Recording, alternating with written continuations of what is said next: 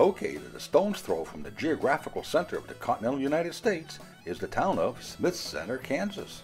Population around 1700. Smith Center is surrounded by miles and miles of soybean and corn fields, and at first thought, an unlikely place for an RV manufacturer.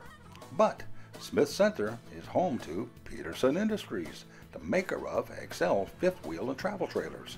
And if you're a serious RVer, then you already know that Excel is the nation's top rated fifth wheel trailer. To find out how the company built such a great reputation and how it continues to set the pace in this fast growing industry, we asked Brian Tillett, the president of Peterson Industries, to tell us how it all started. Peterson Industries was founded in 1966 by Vaughn Peterson and his father Leonard Peterson. Uh, they started out here in Smith Center, Kansas, and Vaughn had just gotten out of the military and he decided he wanted to come to Smith Center to make his home. And he decided that uh, if he was ever going to create any wealth, he'd need to get into manufacturing something. So him and his dad, Leonard, decided they wanted to start building slide-in pickup campers. And here we are 47 years later and we're still here. Now, the burning question is, why Smith Center, Kansas? Vaughn was born and raised in Smith Center, Kansas, and his dad and mom had a John Deere dealership and a furniture store here in town. So this is a great little community to live in, and it's a great place to raise a family, and, and the work ethic here is phenomenal. I've often heard that Excel RVs are overbuilt. So I asked Brian how would he describe his trailers. Overbuilt. We cater to a very specific clientele. Our average buyers in their mid 60s and at least 70% of our clients are full-timers or serious snowbirders. And we warranty for that and we guarantee for that. And uh, uh, it takes a very specific type of a unit to be able to withstand living in it 24 hours a day, seven days a week. With many Excel owners using their units even in the winter, the company also offers a one-of-a-kind guarantee, as Brian explains. We started the minus 10 degree guarantee in the early 2000s, and to this day, we are the only company in the industry that will actually guarantee that our customers won't freeze any of their water system up down to 10 below zero. That's with no skirting and uh, no special modifications at all. Every coach that leaves Smith Center, Kansas is guaranteed against freezing up down to 10 below zero. No other manufacturer offers that. When we come back, we'll learn a lot more about the company and its line of trailers. But first, we have to take this short break. Peterson Industries has been in the forefront of developing quite a few ideas that have become industry firsts. And one idea was termed the Drop Z frame. So what is a Drop Z frame?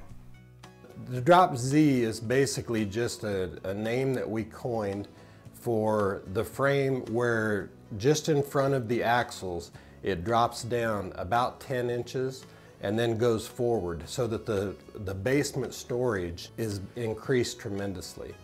And with the Drop Z frame came a lot of side benefits that we weren't counting on. When we did it originally, the main purpose was to increase storage. But we found out that it gave us a lower center of gravity uh, so that we have better towability.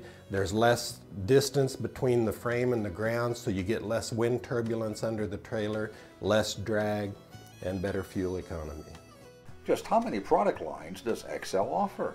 We have three product lines. We offer the Winslow series and then we offer the limited edition series. The Winslow is available in fifth wheels and travel trailers. The limited series is available in fifth wheels only. We also offer a third line called the Wild Cargo. It's a toy hauler. All of our products are very high end. Structurally, there's virtually no difference between a Winslow and a limited edition.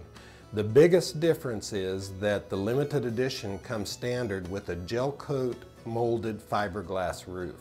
The Winslow and the Wild Cargo is only available with the EPDM rubber roof or now we offer the new Rhino EcoCoat roof for those two product lines.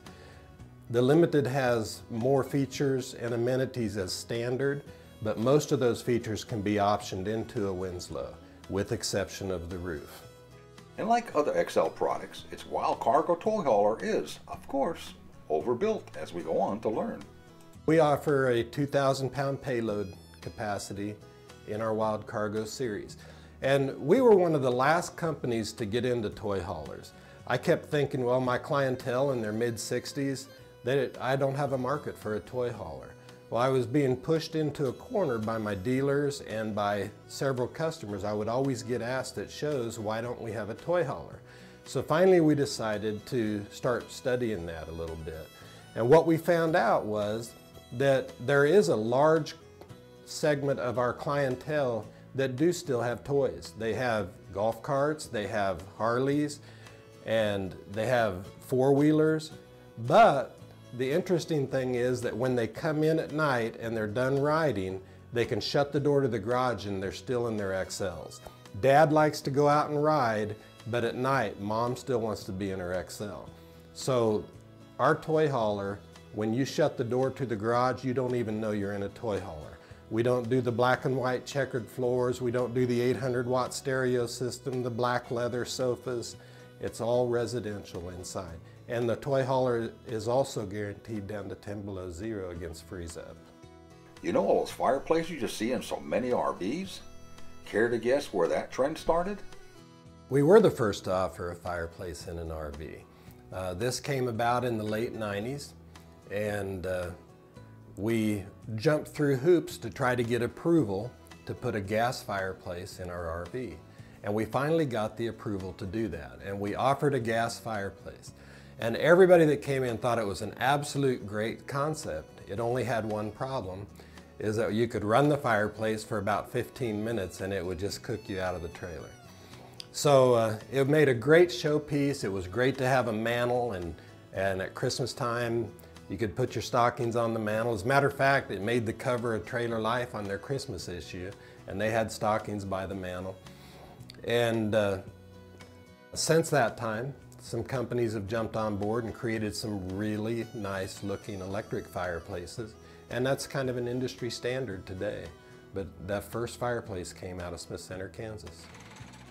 While touring the factory, I noticed, among other things, that Excel was making its own mattresses, and I had to ask, why?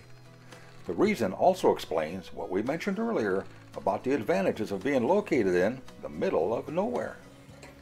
Why do we make our own mattresses? Well, this started years and years ago. Uh, as you know, when you came to Smith Center, Kansas, we're a long ways from anywhere. We're 75 miles from the closest Walmart and we're 65 miles from the closest McDonald's. So getting finished product in here, such as furniture and mattresses and, and uh, finished goods, is really difficult. Plus, we feel that we can control the quality much better. So we started out, we made our own mattresses, and we were buying our box springs for a while. Uh, when box springs really took off, we began also building our own box springs. And incidentally, we are the only company in the industry that I know of that actually puts a box spring under our mattress. Most others just throw it on a piece of plywood. And with our buyers, 70% of them being full-time RVers, they need a good residential sleep. So we can control the quality, plus we provide another job in Smith Center, Kansas. It's obvious that Peterson Industries has taken the disadvantages of its location and turned them into positives by building and controlling the quality of its components. The other advantages is the company's skilled and dedicated workforce. We had the opportunity to talk with Amanda Winter about working at Peterson Industries. I've been with the company just a little over 27 years. My actual job when I started here was I worked in the cabinet shop for about the first six months.